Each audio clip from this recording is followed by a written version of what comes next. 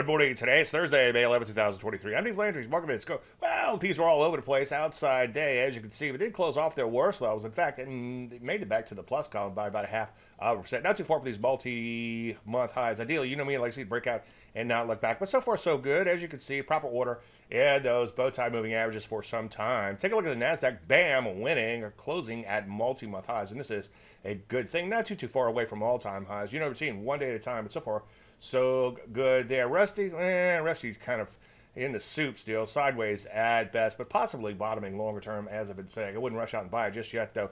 Energies look questionable, but they are stuck in a range. I'd leave them alone for now, but they do look like they are poised to break down out of their range. On the upside, though, some areas like foods doing pretty good, just kind of pulling back. Longer term uptrends intact there. Drugs, bam, winning right here at all time highs. Biotechnology finally bringing up the rear, beginning to break out nicely. Let's take a look at the semis. Semis close a little higher, still look a little questionable, still stuck in a range. You know me, I like to see the semis get out of this range and not look back. So what do we do? Well, I think we have a stealthy bull market happening, so get ready to get ready.